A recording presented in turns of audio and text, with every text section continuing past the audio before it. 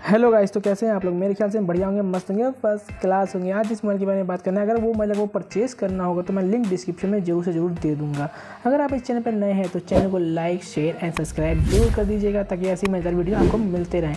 तो बिना बकचोदी के वीडियो शुरू करते हैं। आज जिस मोबाइल के बारे में बात करने वाले हैं, वो शाओमी का एम का ग्यारह एक्स होने वाला है।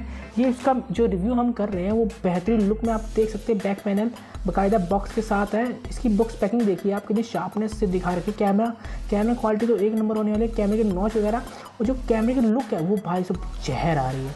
तो हम इसको अब ओपन ओपन करने की ओपन करते हैं। इसके बैक साइड के पहले देख लेते हैं क्या क्या फीचर्स वगैरह है। बैटरी के बारे में बता रखा है कैमरे के बारे में बता रखा है, और इसके अंदर डिस्प्ले के बारे में बता रखा है। मतलब काफ़ी चीज़ें बता रखी है। अगर आप परचेज़ करेंगे तो आपको सब चीज़ पता चल जाएगा। इसमें जो कलर दे रखा है, वो ब्लैक कलर है इस टाइम पे।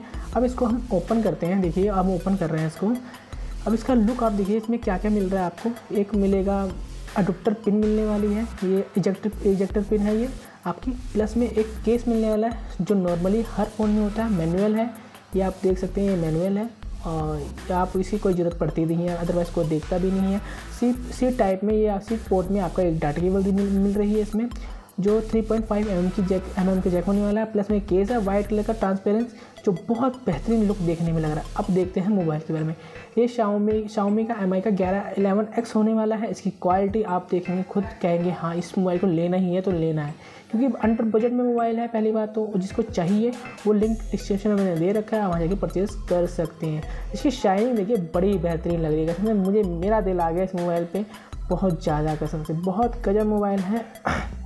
अगर आप चैनल नए हैं तो चैनल को लाइक, शेयर एंड सब्सक्राइब ज़रूर से ज़रूर करिएगा। हम इसको ऑन करते हैं। इस तरह ये अब ऑन हो रहा है। देखिए एमआई का ऑन हो रहा है ये।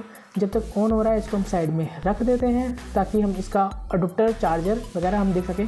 थर्टी थर्टी थ्री वोट का ये वोट का चार्जर होने वाला है। जो फास्ट चार्जर होने वाला है आपका, यहाँ पर बाकायदा लिखा हुआ है। सी पोर्ट में डाटा केबल होने वाली है आपकी बाकायदा।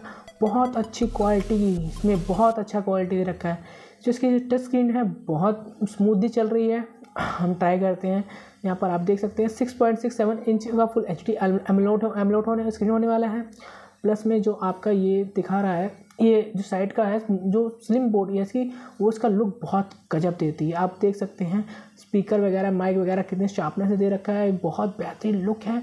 अगर ये मोबाइल आपको चाहिए तो जल्दी से जल्दी चाहिए और इसके बारे में हम और बात करते हैं अभी थोड़ी देर में। जो इसका एजेक्टर होना है सिम वाला एजेक्टर होने वाला है, वो नीचे की साइड कोने में होने वाला है। देखिए, अब मैं ये इजेक्ट करता हूँ इसको। ये इसको मैंने ओपन कर लिया है। देखिए, इसमें नैनो सिम लगने वाली है आपकी। जो बहुत छोटी रहेगी, आपको पता है कि सब फ़ोन में इजेक्टर छोटी नैनो ही सिम लगती है। जिसकी कैमरा क्वालिटी है भाई साहब आप कसम से मैं इसकी स्पेसिफिकेशन बताता हूँ आपको। Specification 48 megapixel primary camera 8 megapixel ultra wide angle के साथ 5 मेगापिक्सल माइक्रो कैमरा होने वाला है ये।